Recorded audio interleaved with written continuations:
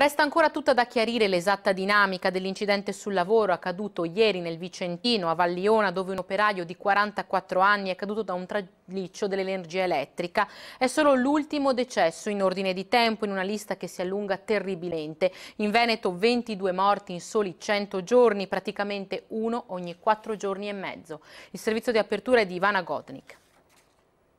Forse un malore appeso lì a 12 metri d'altezza su uno dei tralicci dell'alta tensione sul monte Cistorello all'estremità dei colli berici. Forse un passo falso, il piede che scivola perché ieri pomeriggio qui nel comune di Valliona la pioggia cadeva incessante.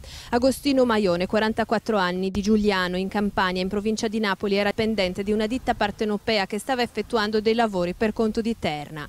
Ditta specializzata nella manutenzione delle linee elettriche. Ieri Maione si stava occupando del taglio taglio di alcuni rami. Lavori di manutenzione, per qualcuno addirittura di routine, anche se fatti a 12 metri d'altezza. La caduta, l'arrivo dei soccorsi, l'elicottero del SUE che atterra in mezzo ai campi, ma per l'operaio napoletano non c'è stato più nulla da fare. Sull'incidente è stata aperta un'inchiesta, l'anomalia più evidente è l'assenza di dispositivi di sicurezza che avrebbero dovuto evitare la caduta di Maione. Forse la vittima se li era tolti proprio nel momento in cui era scivolato o forse non hanno funzionato. Resta il fatto che il numero delle morti bianche in Veneto, come ci spiegano la CGL di Vicenza, continua ad aumentare.